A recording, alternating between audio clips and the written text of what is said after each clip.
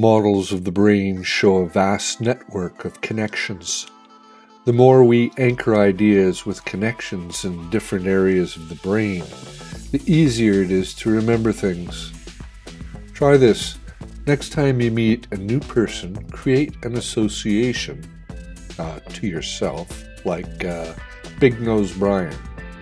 If its relative rhymes or is funny, you'll be more likely to remember the name Brian. Repetition helps as well. Associations are memory triggers, words or phrases that are related to the curriculum content or concept. What are the key vocabulary words that define the idea? When students synthesize and summarize key ideas to conclude their lessons, they develop higher order thinking skills, reinforcing through repetition what was taught. And this is good.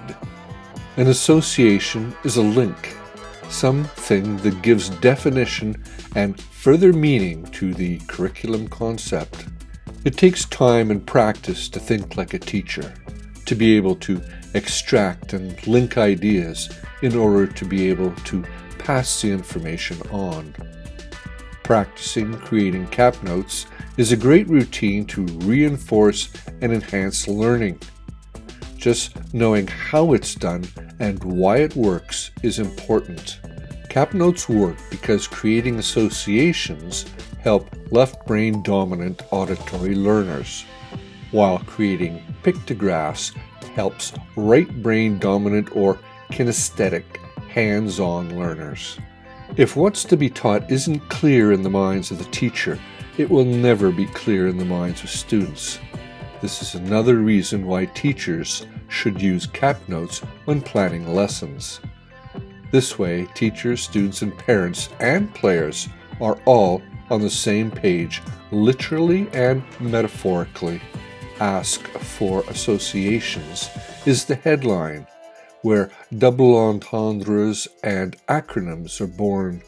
Traditional curriculum content documents are organized with knowledge first, skills second, and attitudes third. Simon Sinek, in his popular TED Talk, pushes the idea to begin presentations with why.